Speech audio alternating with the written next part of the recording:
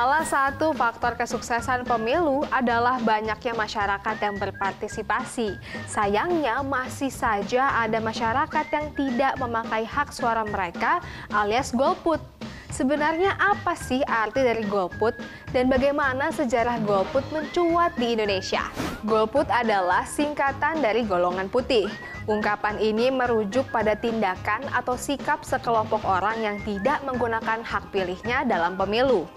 Golput sesungguhnya mulai menjadi perhatian dalam pemilihan umum 1971. Saat itu, golput lahir sebagai bentuk perlawanan pemuda dan mahasiswa terhadap pelaksanaan pemilu di era pimpinan Soeharto. Pemilu 1971 yang adalah pemilu perdana di Orde Baru dinilai tidak demokratis. Belum lagi partai politik yang ada pada saat itu diatur secara ketat oleh pemerintah. Bahkan ada yang sampai dibubarkan jumlah parpol peserta pun hanya ada 10. Dengan jumlah partai yang sedikit, membuat pilihan calon yang tersedia menjadi terbatas, dan calon yang ada dianggap tidak bisa menampung serta memperjuangkan aspirasi para pemuda dan mahasiswa. Nah, bagi pihak yang dengan sengaja memobilisasi pemilih untuk golput, hati-hati ya, ada ancaman pidana yang menanti.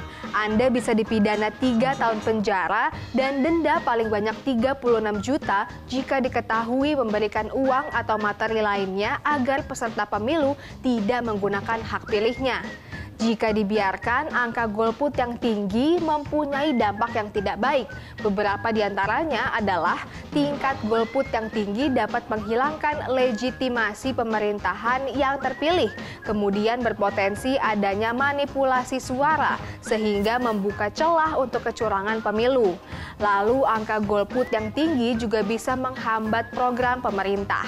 Tren angka golput dari tahun 2014 ke 2019 mengalami penurunan, walaupun di tahun sebelumnya sempat mengalami kenaikan. Tercatat Pilpres 2004 terdapat angka golput 22,56 persen, lalu 27,40 persen pada Pilpres 2009. 28,60 persen di Pilpres 2014 dan 18,03 persen pada Pilpres 2019. Sementara untuk angka golput di Pileg juga mengalami penurunan. Pada pemilu 2004 ada 15,9 persen warga yang golput, lalu naik menjadi 29 persen di Pileg 2009. Pada Pileg 2014, angka golput turun menjadi 24,89 persen, dan di pemilu 2019 kembali turun menjadi 18,31 persen. Dengan adanya tren positif ini, membuktikan masyarakat Indonesia sudah semakin bijak dan bertanggung jawab terhadap masa depan bangsa. Semoga di pemilu 2024 nanti makin banyak orang yang sadar untuk menggunakan hak suara mereka dan tidak menjadi golput. Jadi jangan lupa di bulan Februari nanti datang ke TPS, gunakan hak suara Anda dan tentunya jangan golput ya.